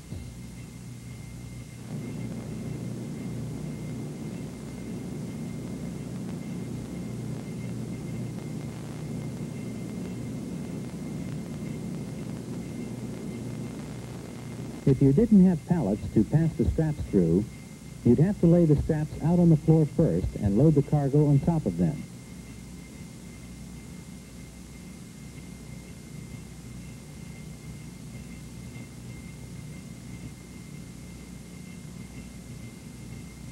Unitize your cargo completely.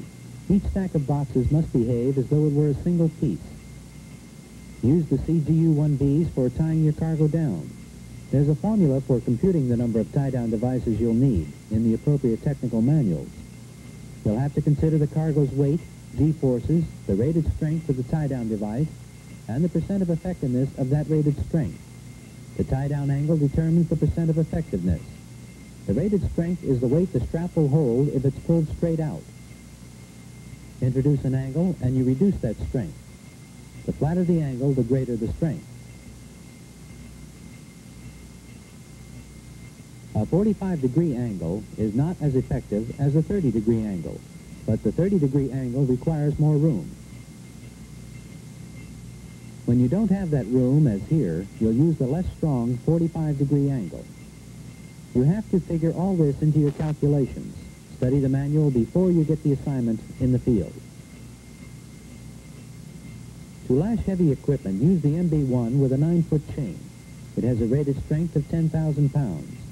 But the pod's floor rings are only rated at 5,000, so calculate your MB-1s as having only the 5,000-pound rated strength.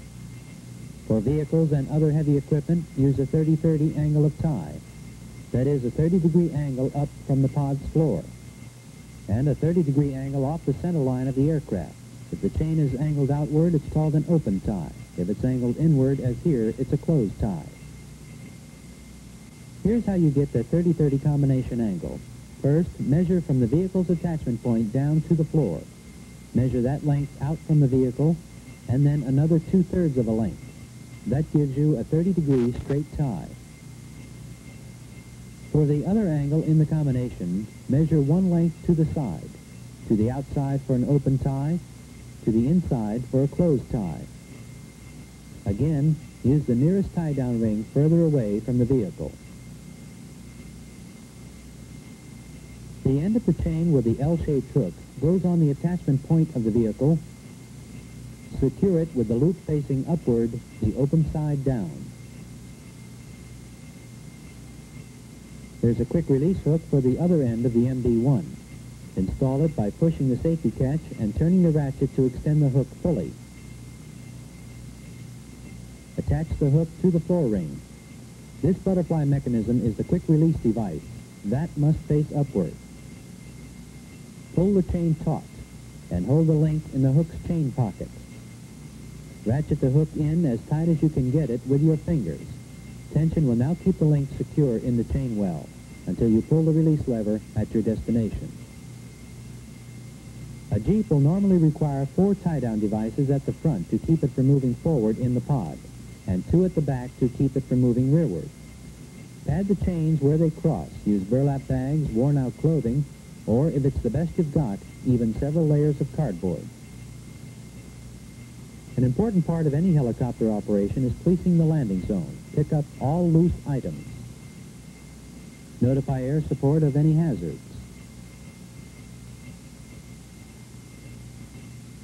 Use smoke to designate the landing zone. If you've done some thinking ahead, you'll have the pod positioned with its front end facing into the wind. This reduces handling because the aircraft has to land into the wind, and you've got to approach with the pod from the aircraft's rear.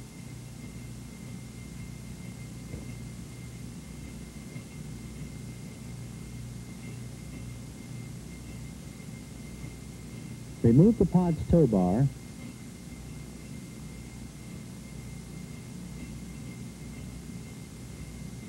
And push the pod by hand slowly under the aircraft to align with the four-point hookup. The pod uses the same four hooks as does a four-point external load. Simply hook each cable to the proper attachment point on the pod. You raise the pod's wheels by opening a hydraulic valve and the wheels raise automatically.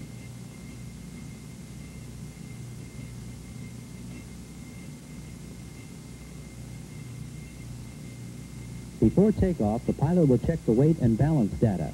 He checks the load against the load plan to be sure the aircraft will be properly balanced in flight. He also verifies the destination and gets any special instruction that you, the supported unit, may have.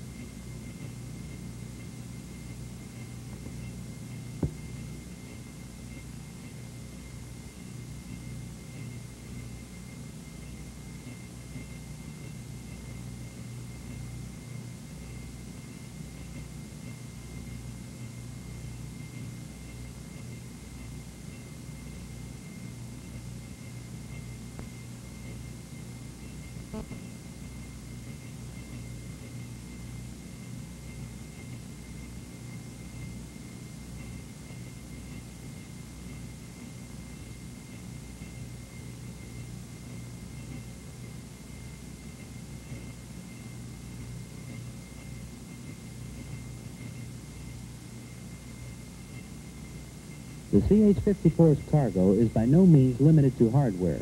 It can also carry troops, but the pod must be adapted before it can carry troops. The aircraft crew does this by installing seats and seat belts.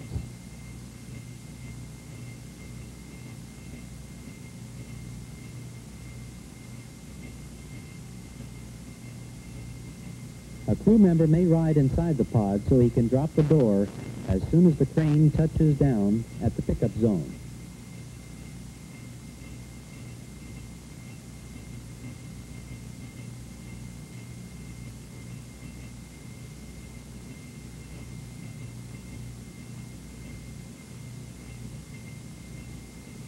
The normal procedure is to approach a helicopter from the right side. Be sure that backpack antennas don't foul either the tail or the overhead rotor. If the operational situation calls for real speed, you may approach the flying crane from the right and left rear. Keep your squads together as you take seats. If you have less than a full load, space them to afford good balance. A member of the aircraft crew will double check to see the men are properly strapped in.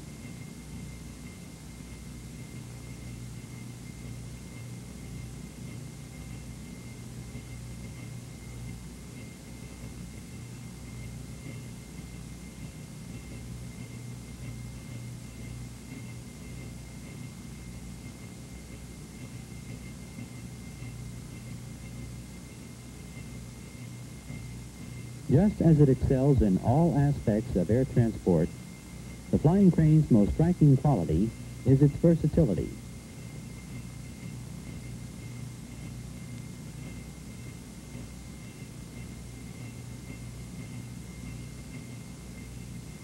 It can carry equipment externally with the helicopter's conventional single-point hookup,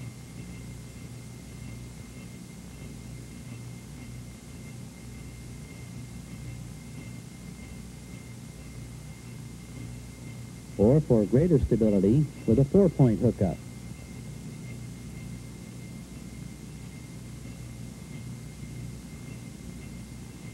One of its most important features is the pod, which can be removed and remain with the supported unit for loading or unloading, while the aircraft itself carries out another mission.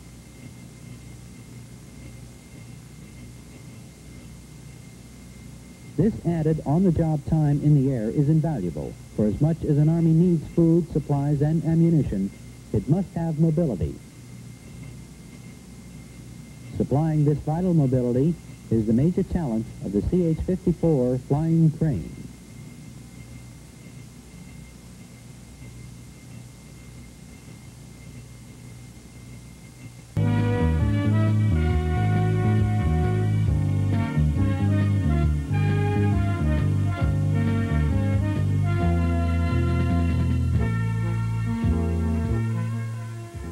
Functions of the Army Agency for Aviation Safety is to analyze aircraft accidents to determine causes and then make recommendations to prevent similar accidents in the future.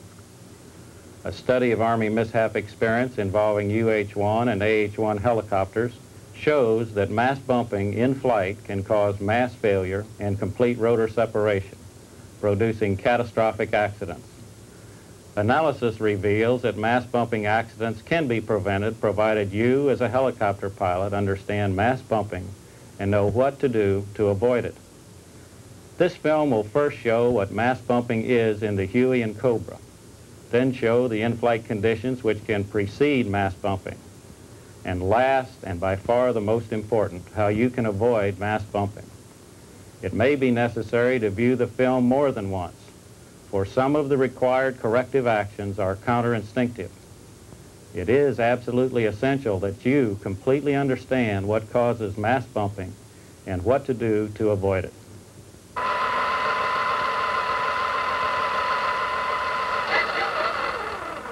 In the Huey and Cobra, inappropriate pilot response to low-G maneuvers or mechanical failure can lead to mast bumping and possible in-flight separation. As an Army helicopter pilot, you must understand the operational characteristics of the UH-1 and AH-1 and know how to handle these aircraft to avoid mast bumping.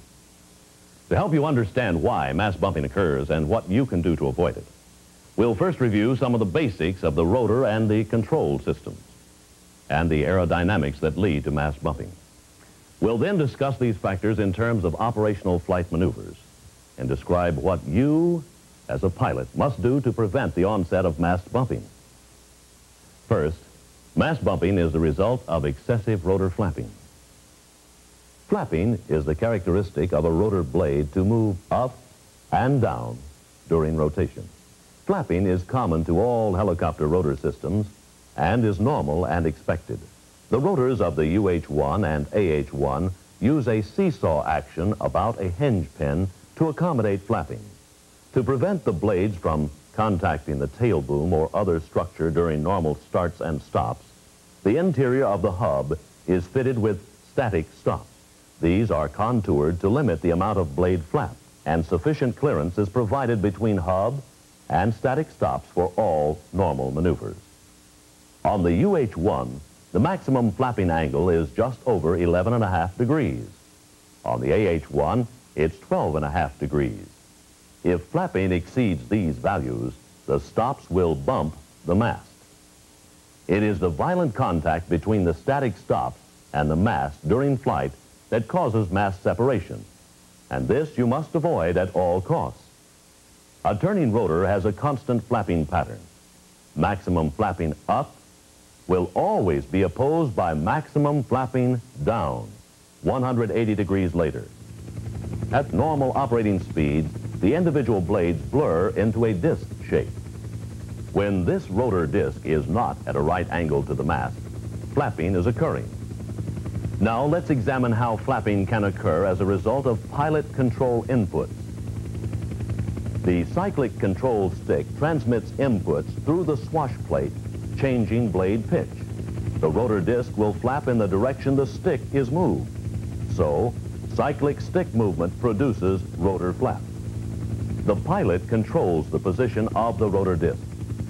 In flight, when the rotor disc tilts, the aircraft responds by moving in the same direction. In this way, the pilot controls the helicopter. Mast bumping is directly related to how much you as a pilot allow the blade system to flap. And to understand this better, we have to dig a little deeper. In straight and level flight, blade flapping is minimal and difficult to see in real time or even, for that matter, in slow motion. Flapping angles of less than 2 degrees are expected under usual flight conditions. You can expect flapping angles to increase by 1 or 2 degrees with high forward speeds at low rotor RPM, at high density altitudes, or at high gross weight. You can also expect increased flapping angles during turbulence. Aircraft maneuvering can also induce large flapping angles. For example, side slip and low speed flight at extreme CG position. The risk of excessive flapping and possible mast bumping increases when you allow the aircraft to approach low G conditions. And that's what we really want to talk about. Let's see what happens when a pilot encounters a ridge line or a tree line, executes a cyclic climb, and then noses over using abrupt forward cyclic. In this maneuver, he has deliberately given up G loading on the rotor disc by changing rapidly from upward to downward flight and is approaching zero G. Higher speeds aggravate the situation. The combination of down collective and low G means that lift, and therefore thrust, has essentially disappeared. Let's look at the situation from aft along the roll axis. Absence of thrust means there is no lateral cyclic control, so cyclic movement cannot change fuselage position. The aircraft does not respond because the pilot has given up G loading on the rotor disc. The thrust of the tail rotor, acting above the helicopter's center of gravity, starts the fuselage rolling to the right. Seeing this, the pilot wants to counter the roll. Normally the right thing to do. Tail rotor thrust acting above the aircraft CG will cause right roll rate to build up rapidly. Alarmed by the excessive roll rate, the pilot abruptly applies left cyclic. The rotor disc tilts in the direction commanded by the pilot. The pilot still has rotor control, but he is controlling an unloaded rotor. That is, a rotor that is not producing thrust. Although he still has fore and aft control, he has lost roll control of the helicopter. Flapping increases drastically. The rotor hub strikes the mast violently. On one side, then the other, and the mast may separate. Let's go back to the point where the roll started to see what the pilot should have done. As we saw before, as the aircraft rolled, lateral cyclic inputs could not develop thrust because there was no change in angle of attack of the rotor system with respect to the relative wind. Consequently, there was no positive lateral cyclic control. In contrast, let's look at the situation in the pitch axis. Similar to the roll case, aft cyclic inputs cause the rotor disc to move. But in this case, the disc movement changes the disc angle of attack. Aft cyclic realigns the rotor and thrust is restored. The nose pitches up. And with thrust once again available, the pilot is able to counteract the roll. Let's make sure we all understand what the pilot should have done during the nose-over maneuver. He could have avoided the low G condition by using more gradual forward cycling. The rate and extent of cyclic motion should be adjusted to keep the rotor loaded at all times. As a pilot, you clearly minimize the likelihood of mast bumping by staying above one-half G at all times, thereby preventing approach to low G and the right roll tendency. If the rotor becomes unloaded during low G, it is absolutely essential to recover thrust first by smoothly moving the cyclic stick aft. Once thrust is restored, left cyclic will then return the aircraft to the normal flight attitude. The basic lesson here is that the pilot contributes to the potential of mast bumping in the low G environment because any pilot's instinctive reaction when a roll begins is to correct it with lateral cyclic. And the greater the roll rate, the more abrupt the control movement is likely to be. Severe flight attitudes seem to call for severe control inputs. Yet it's the severity of these inputs that can produce worse problems. If you encounter low G conditions, remember, avoid abrupt, large magnitude control inputs. Smooth, gradual control movements are essential. First, aft cyclic to restore the thrust. Then and only then, left cyclic to correct for right roll. You may also encounter low G conditions during mask, unmasking maneuvers or steep descending nose-low turns. If these maneuvers are performed with abrupt, uncoordinated, or cross-control inputs, the rapid changes from upward to downward flight may unload the rotor and induce mast bumping. The risk of mast bumping also increases in turbulence when sudden upward and downward drafts can unload the rotor and get you into low G conditions. If that should happen, you must resist the instinctive urge to counteract unusual aircraft attitudes with hard lateral cyclic and pedal inputs. You must first reload the rotor by moving the cyclic stick aft.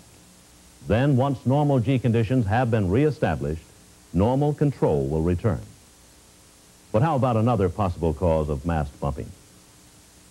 Engine failure. What should the pilot do to control this situation?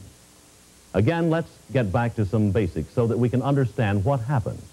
First, under normal conditions, and then when the engine fails. The actions we'll be talking about are complex, so it helps to imagine there's a camera along each axis, together with one behind the cockpit. At this moment, let's say the helicopter is flying in its normal cruise attitude. That means the longitudinal axis, and therefore the nose, is pitched down slightly, and the rotor disc is tilted slightly forward.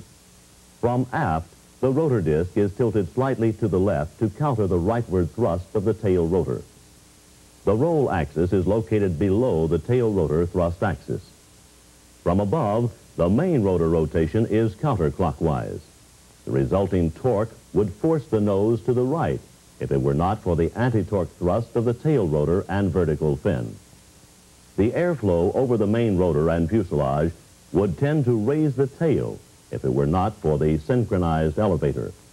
In normal flight, then, all forces are balanced and the helicopter is in equilibrium. From the cockpit point of view, the horizon is horizontal. Most engine failures do not result in mast bumping, but it can happen if the pilot fails to take appropriate action. Let's say the aircraft is in normal flight, all forces balanced. Then the engine fails, suddenly. As the engine stops, the rotor RPM and airspeed both begin to decay, with some loss in altitude. Because the engine is no longer driving the main rotor and RPM is decaying, the torque about the mast that had been opposed by the tail rotor and fin is diminishing. So now, the tail rotor and fin, continuing to thrust to the right, causes the nose to yaw left. Interaction of the relative wind with the yawed helicopter and main rotor causes the aircraft to roll left. The pilot may see this as a nose-down tendency. The change in attitude has been abrupt and is continuing at an alarming rate. The pilot, responding to what he perceives as a nose-down, left yaw situation, reacts abruptly, but in the wrong manner for the case at hand. Right aft cyclic and right pedal, but he fails to lower collective right aft cyclic immediately tilts the rotor disc right and aft, and failure to lower collective results in decaying rotor RPM. This will result in larger flapping angles. Mast bumping may then occur. The remedy? Work on the primary problem, not the symptom. In this case, the symptom is the roll. The problem is power loss. So, when a loss of power is detected, you need to decrease the collective pitch to avoid a reduction in rotor RPM and apply sufficient right pedal to maintain a constant heading and enter auto rotation. But now suppose you lose the tail rotor. In this case, the situation is practically a mirror image of engine failure. But it's further complicated because you've lost one of your primary control forces, tail rotor thrust. Let's see what happens.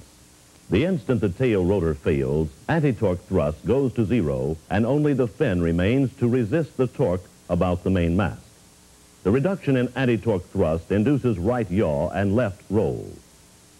Yaw attitude now exposes flat areas on the left side of the aircraft and the nose to the relative wind.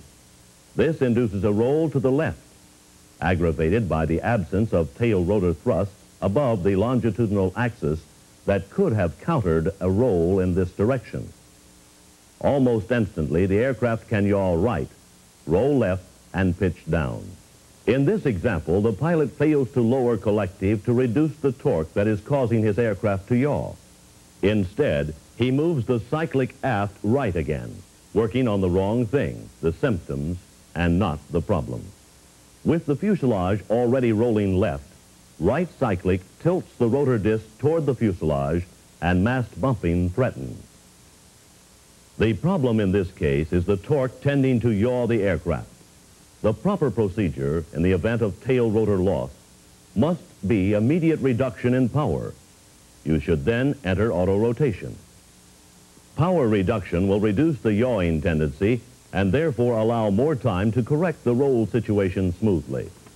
With reduced throttle and collective, keep an airspeed slightly above the normal autorotative glide speed.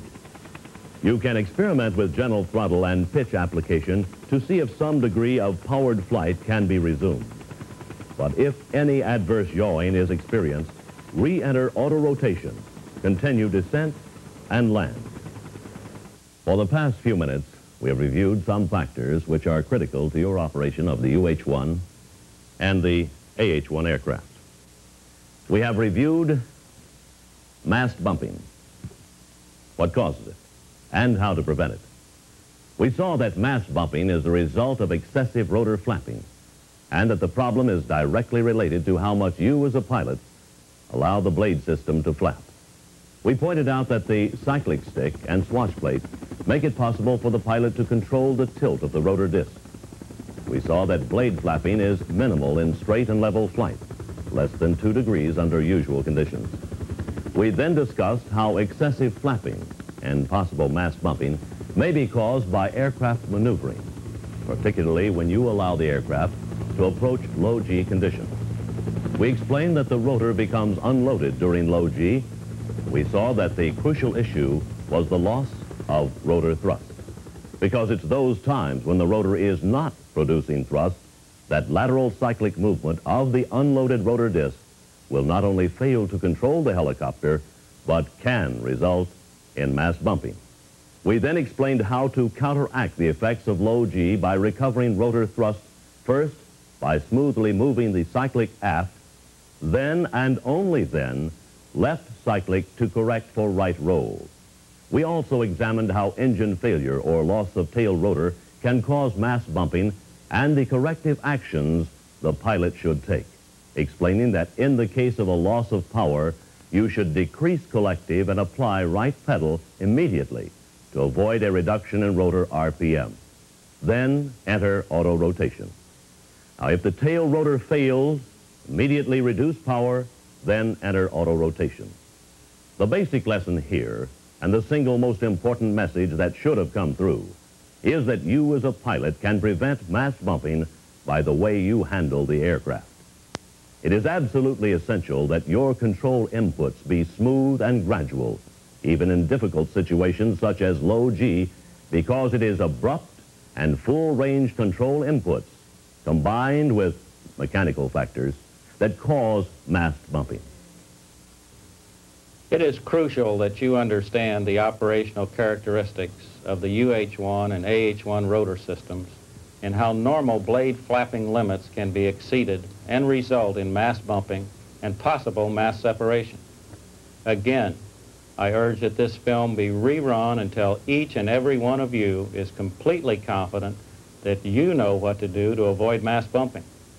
Mast bumping is real, but it can and must be prevented. It is vital that you understand the part you play.